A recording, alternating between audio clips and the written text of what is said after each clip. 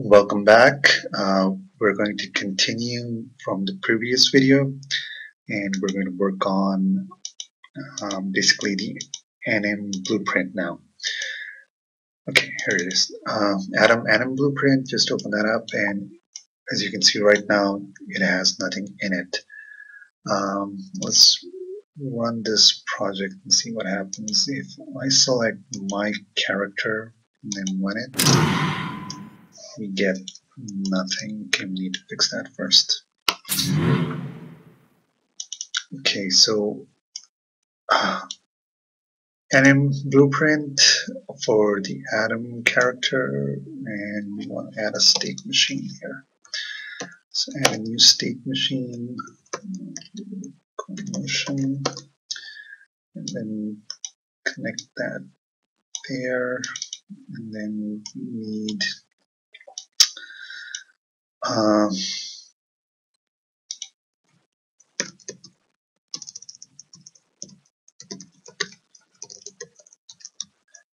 okay, so the first thing we need is an idle walk run blend space. So let's make that. Go to, let's make it here. Basic animation, anima uh, blend space 1D, and we want to make this for the atom skeleton. Okay, so I'm going to call this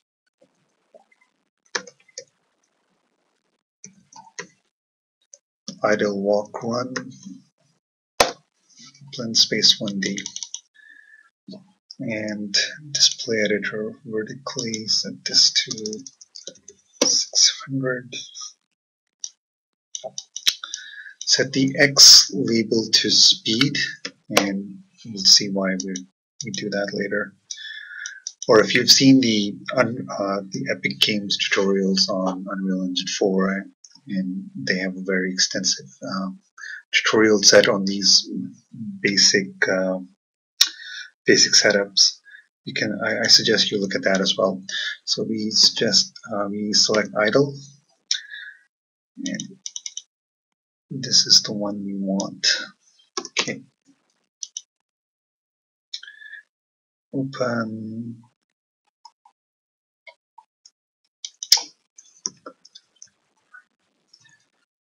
on the blend space and then cancel this.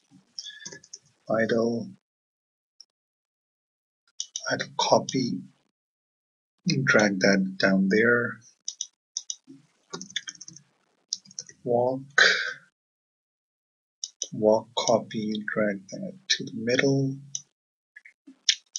then run, run copy, drag that to the top. Okay, so you got idle, walk, run. Now, you will notice that this is different from the original Mixamo blend space. Okay, so this is the original. You have an idle, you have a walk, and you have a run. Okay, but we are using, well, basically we retargeted the uh, animations for Blue Man and applied them to the atom skeleton. So this look is just entirely different. And so we're going to use this one. So just close that and go back to Blueprint Canon blueprint. I don't walk one, I don't walk one, and in asset browser, AWR, drag this here, there, new promote variable. I'm going to call this speed.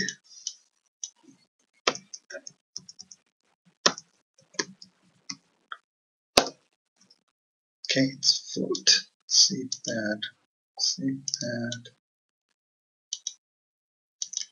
close this locomotion the event graph. Okay then. I want to reuse this um, anim blueprint for other characters. So just like we've been retargeting animations I would like to retarget this entire anim blueprint for another character. So in order to do that, um, we're going to take a number of steps and I'll explain that as we go along. So for, first we take this and we cast it to my character. Okay, now typically what you would do is you would cast it to whatever character you were using for for example we could cast this to cast to to the atom blueprint right? And this works too.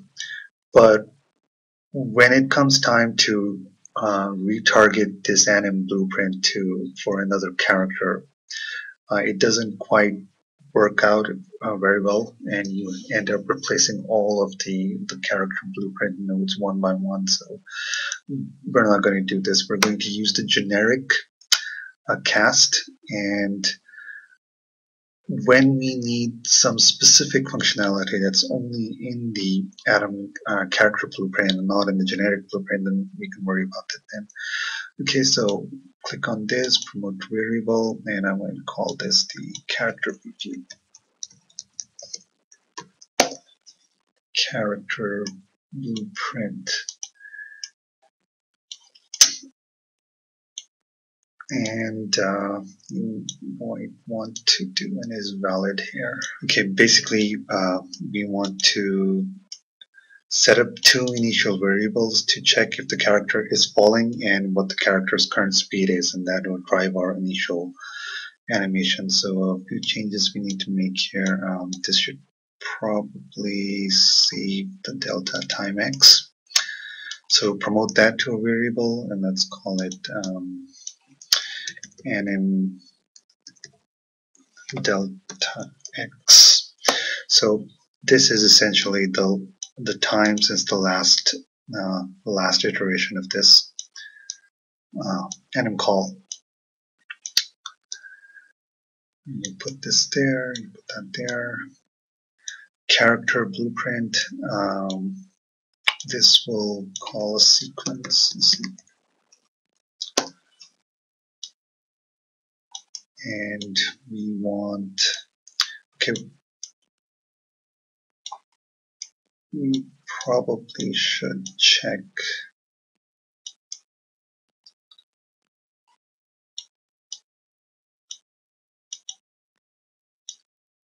If this is valid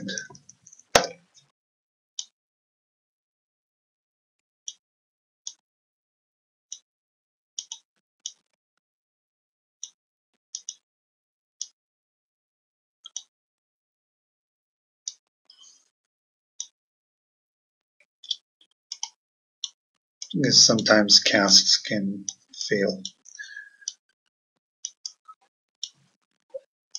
Okay then, um, we want to know if the character is falling.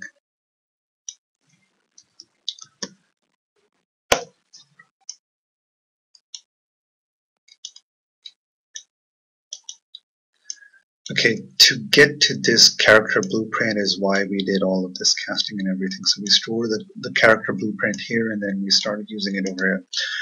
Uh, we want uh, the get movement component. No, not we want that. Get character movement. Okay. Get character movement is falling and then save that.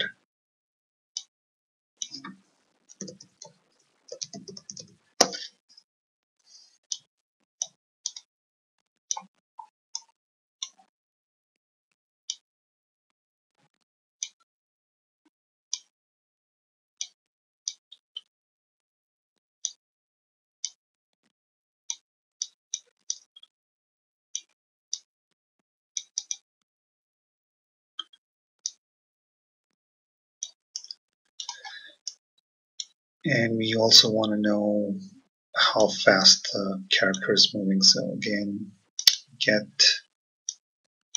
get velocity get velocity and then the magnitude of this velocity or vector length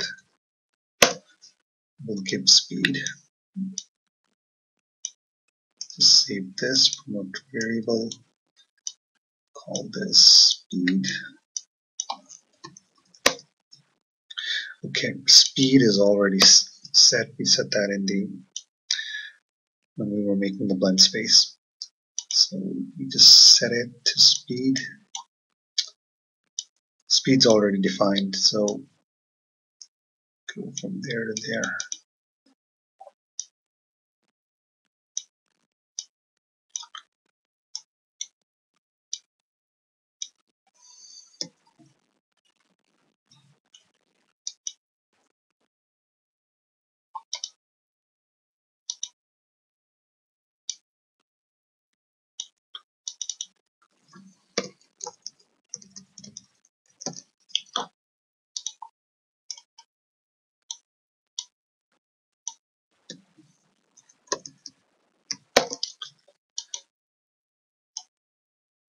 Right and that's enough to drive our basic animation. So speed will drive the 1D blend space and we get back into locomotion we can set up our jump loop. So we go from there to add state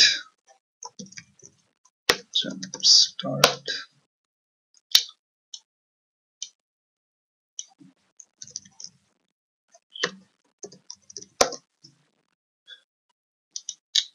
Oh, right, we have to first add the state. Get node, and then we can name node to jump loop. Add state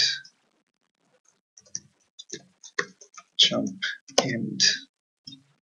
And just rename that to this.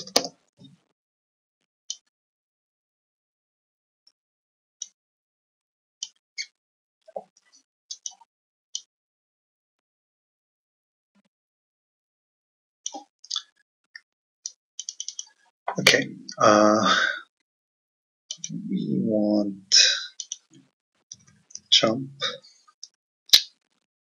jump start.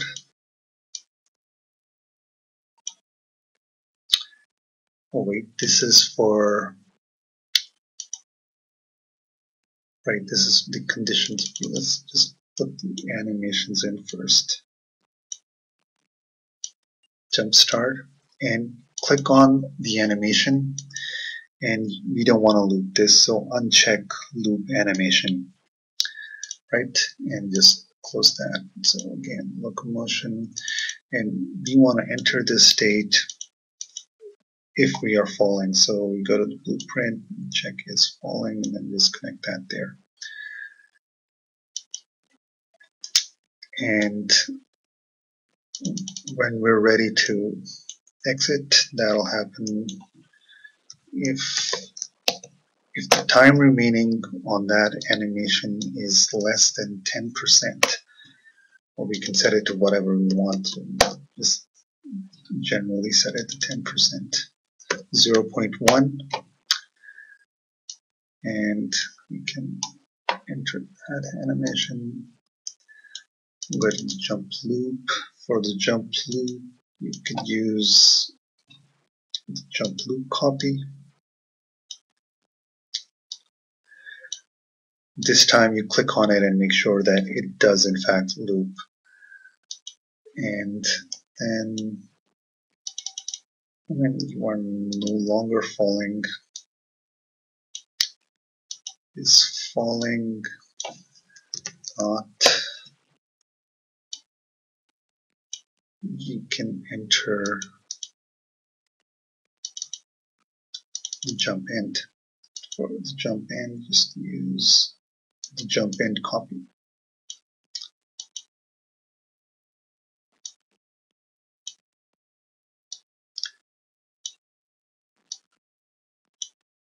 And this animation will also not be looping, so uncheck that.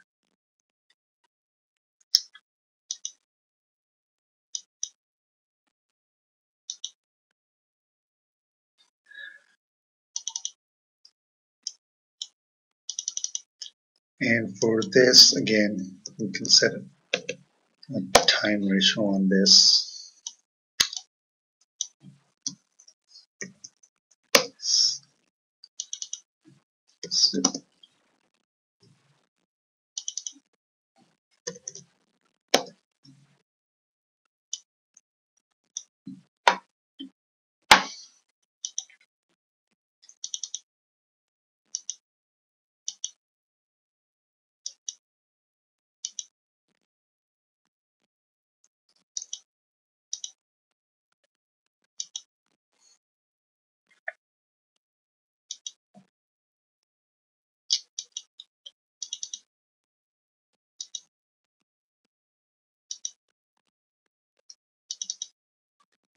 Okay, and that's basic. Your basic movement. So let's uh, try and see if this works. So go to the Atom blueprint and components mesh. We did set the mesh, but we didn't set the animation blueprint. So use anim blueprint, and we want to use the atom anim blueprint. Okay, that's the one we were just working on. Everything seems okay. Close this, save everything. Now we see if it works or not. And there you are.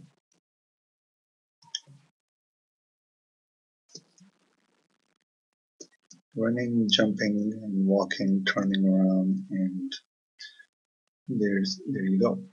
Okay, now the reason you do a three-point jump is you don't know how long the jump will last. So, for example, if I'm running and I press jump, it goes up and he lands back down. But, for example, if I jump from over here, the jump is very is much longer than than just jumping from on on the ground. So if you're if you're not using a three point system with, with the middle looping around, then the jump might end and the character will start walking while still in the air, and that's it's not good.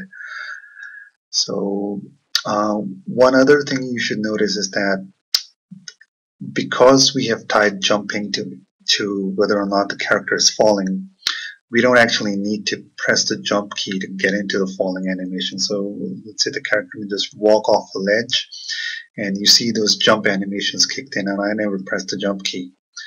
So th this is uh, like really nice and you get a, very, you know, uh, convincing result here and, and, we didn't even have to do anything. A, this is just for free. So I think this is enough for this video and then we can continue in the next one. Alright, thanks. Bye.